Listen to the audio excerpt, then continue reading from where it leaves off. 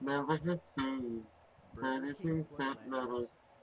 The last thing you want in the Republican voter is someone's foot fungus, but as it turns out, that might be what the